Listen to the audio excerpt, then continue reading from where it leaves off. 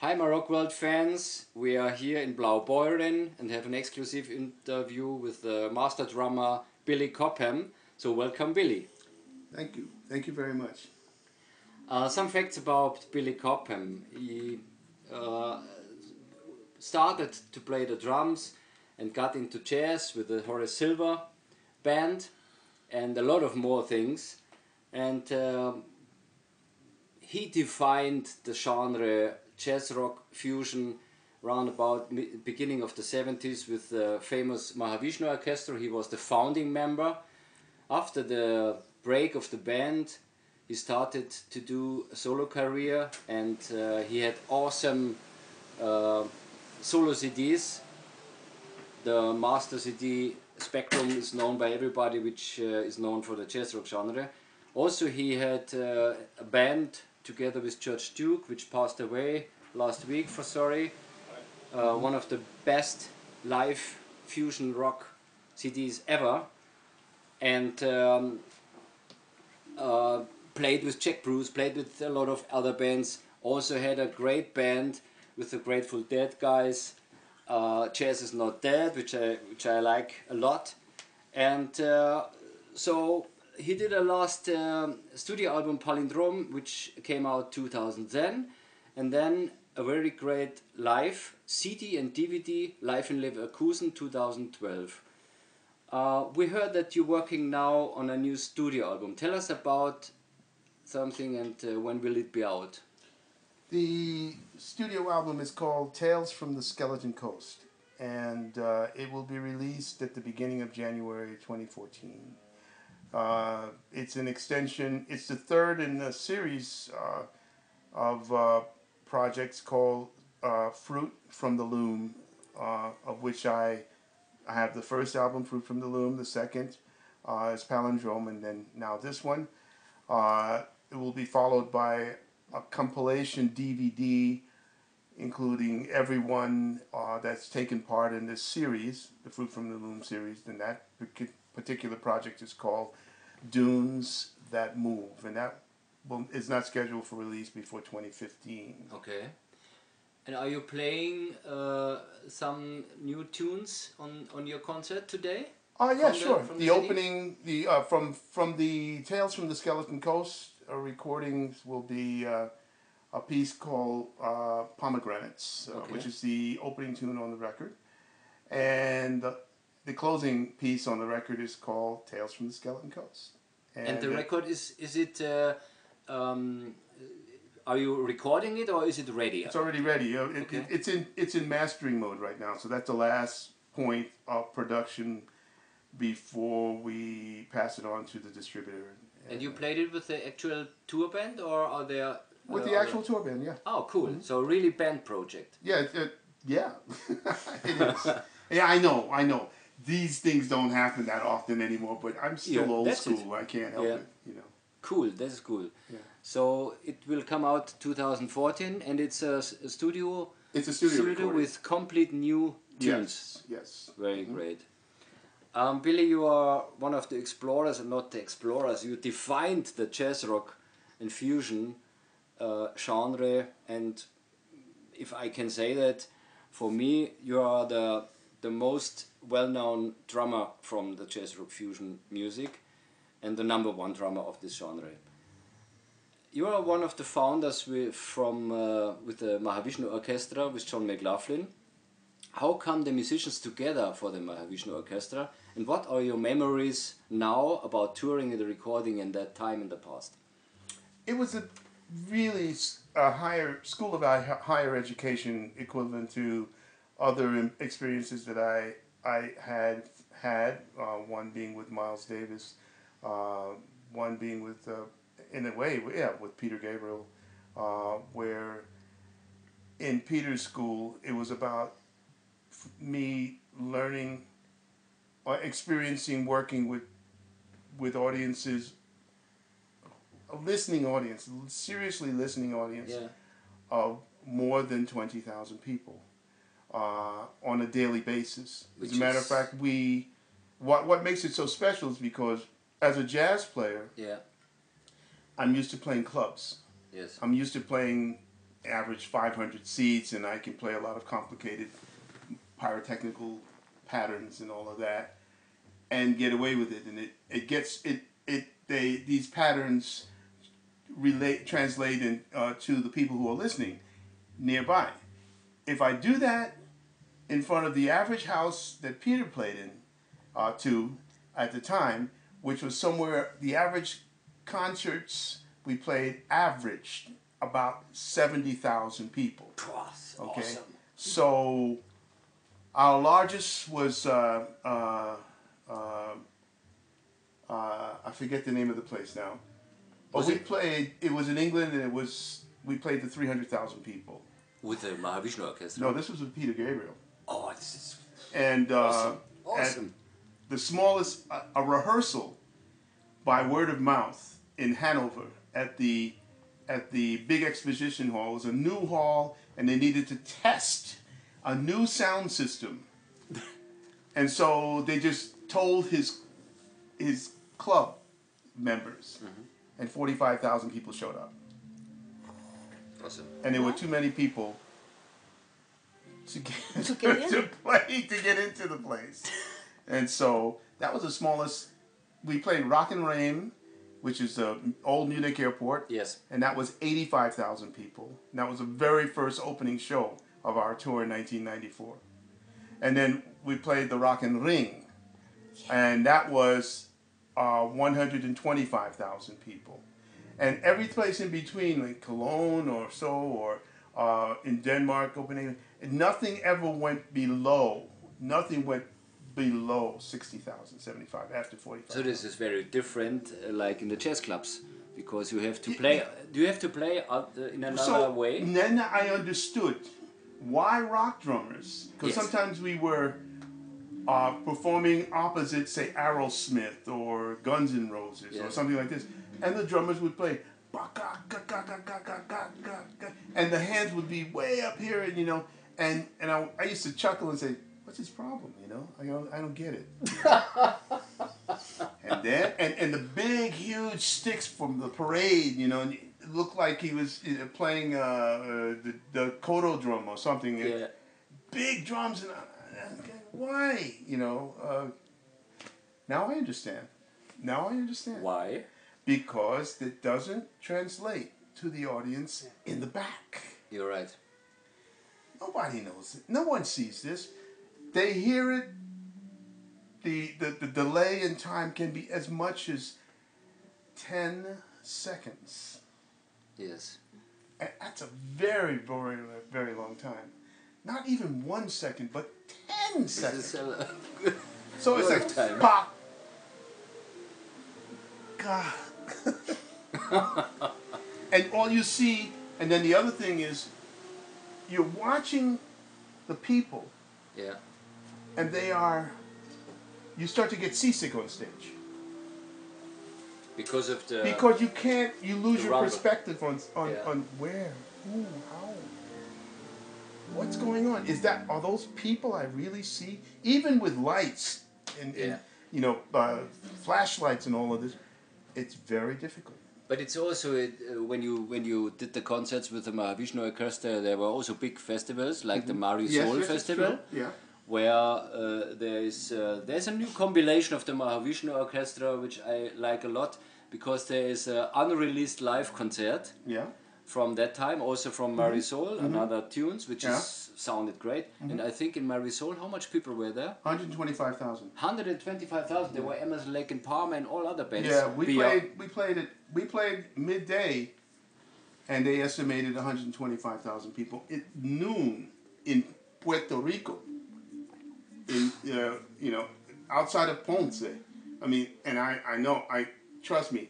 I had water, ice water thrown on my head just to stay cool. Yeah.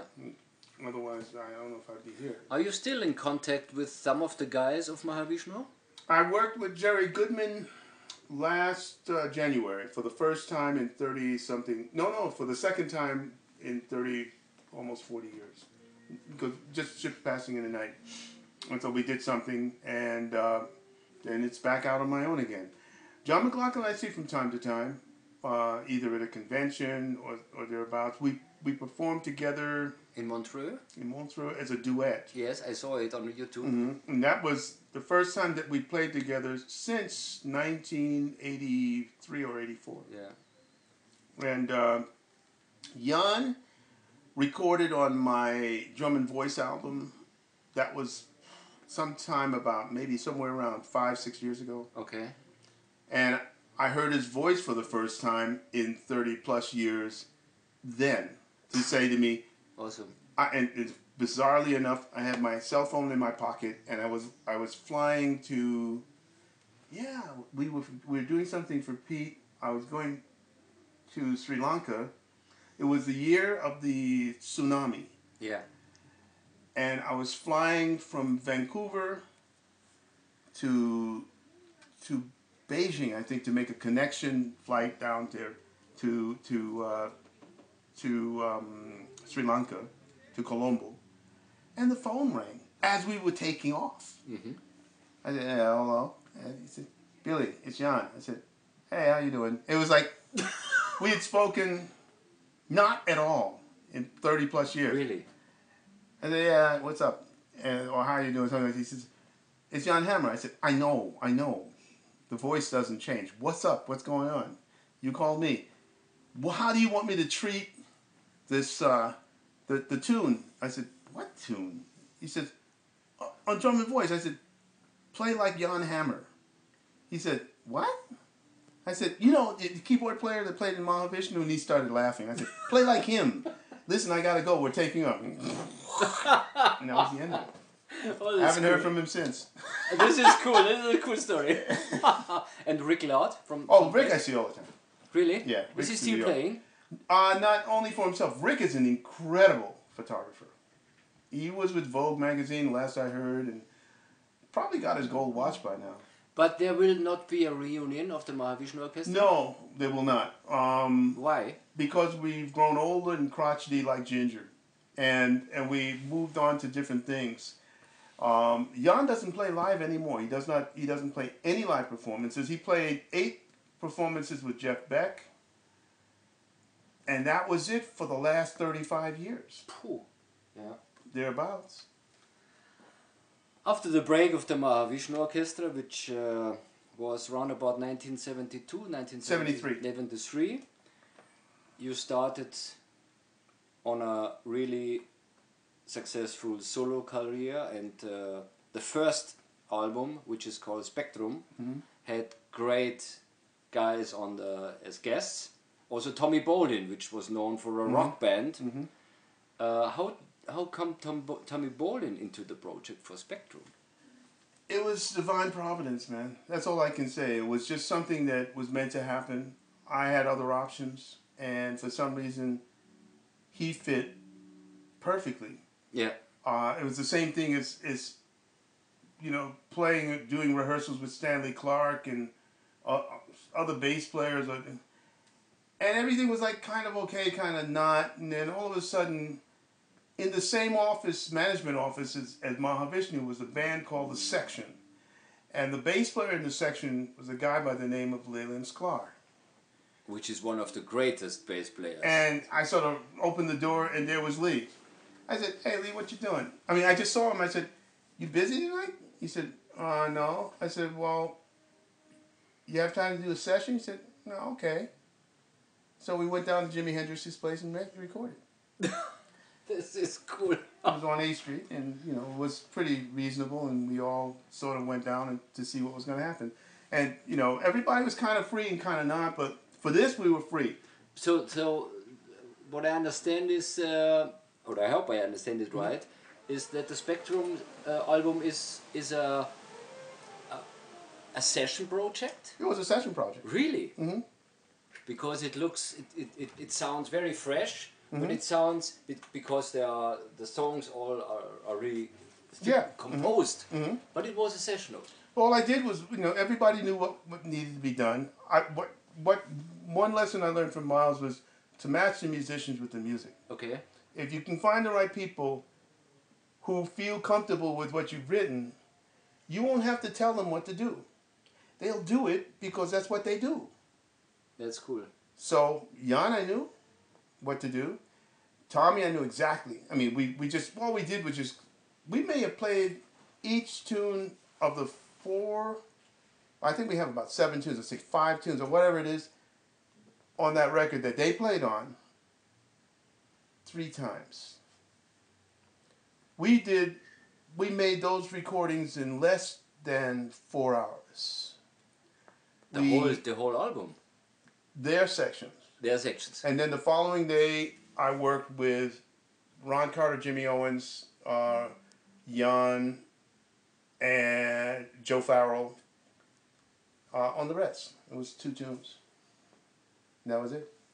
And uh, we were in and out of there in a couple of days max. Phew. And it's the masterpiece in jazz rock. Spectrum is really the masterpiece. The heavy thing about Tommy, Tommy's like the male version of Amy Winehouse. And by the way, they both died at, at the age of 27. Okay. okay? They'd walk in, meaning in, at Real World, she'd come in, she'd be a bit of a mess, but that was a whole other story. Yeah. But when she sang, she sang. Yeah. Understand. Everything was fine, Yeah. okay? And woof, gone. You know, Yeah. that that's not with everybody. And sometimes you have to wonder, you say, okay, um, these people weren't meant to be here past this time. Yeah. and I only knew Tommy Bolin for eight years. Mm. And of that, and when he recorded, he died in 1977. He recorded with me in 1973. Yeah. Okay, and he was 27. So he was 23, 24 years old. That was it, man. Yeah. And then he went out with Deep Purple and all of that, yeah. and and Big Star and poof, gone. Yeah. You're right.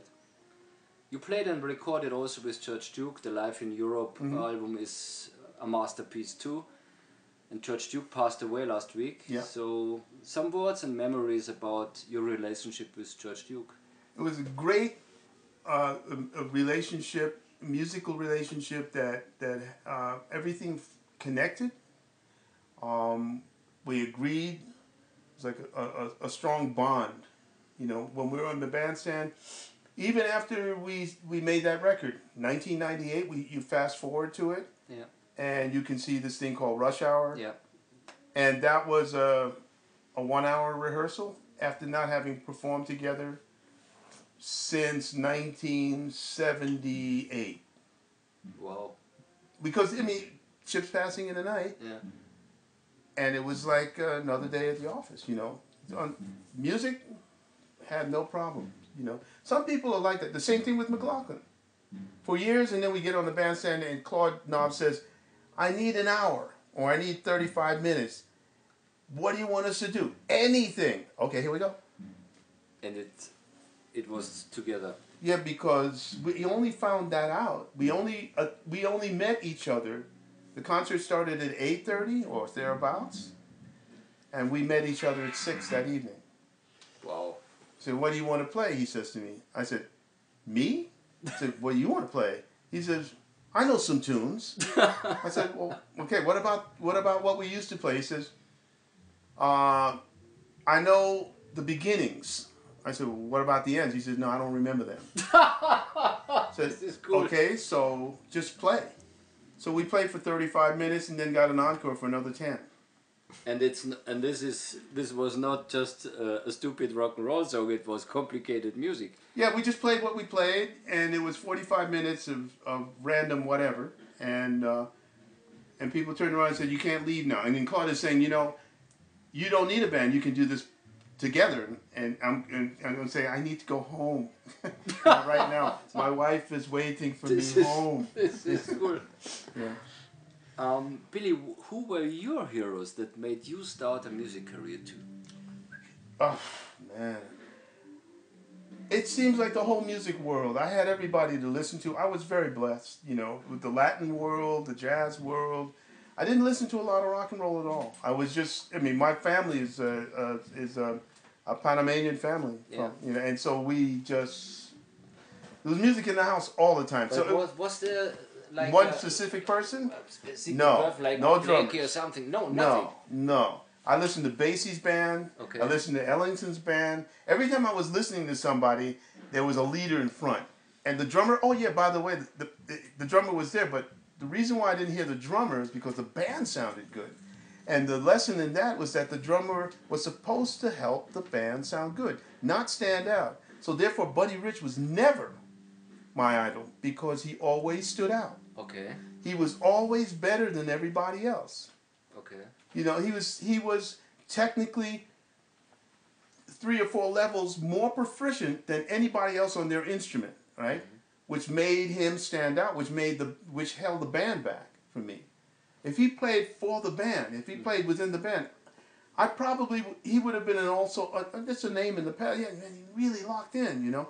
But that was about it. I love Mel Lewis. I love people like that who's who made the Thad Jones Mel Lewis band l- live.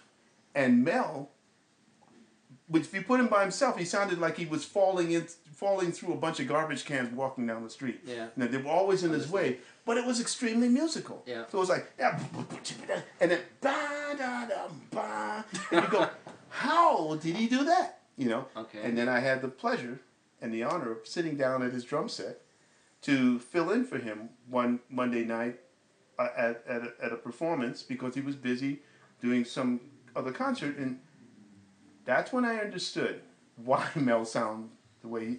All the drums were very loose. The snare drum was like this. Mm-hmm. And you go, no, I could never make this work. You know, you you because it, it, the heads were like this. Understood. and you, go, no, can't. And then you understood when you saw him, you go, yeah, and the, the sticks almost fell out of his hand, and bam, and you went, no, that's what he's doing. How do you transfer those ideas Understood. to paper? Yeah. But the band, oh, burning, you. The Thad Jones Mel Lewis band was the best big band of one the of them, one of them. You know, I mean, but, but Ellington the same. You know, you, you had all these different people, and uh, with Louie Bellson and all, they were great musicians. But when Louie got into a band, you didn't remember him. You remembered the band. Ellington sounded incredible, and his writing, as a as a composer, Louie Bellson was a great great guide guidepost for me. You know, so I got a lot Yeah. from that. So it's the more the jazz guys. More. It it were the jazz guys. Really, you got to tell me. I, yeah, I, I, with all due respect to rock and roll, I Yeah. don't think so. No, You're right. no. Is there anything you haven't done musically yet, uh, and you think one day I really love to do that? Um, and that's to to, and now I'm really, and I'm moving in that direction, and that is to compose and write my own orchestral uh, uh, orchestral pieces. Uh, there are orchestrations from my music, and there will be at some point very soon uh, a presentation with the Hessischer Rundfunk uh, big band Okay. of only my music. Just yours. just my music. But someone has orchestrated it, and that's great. Yeah.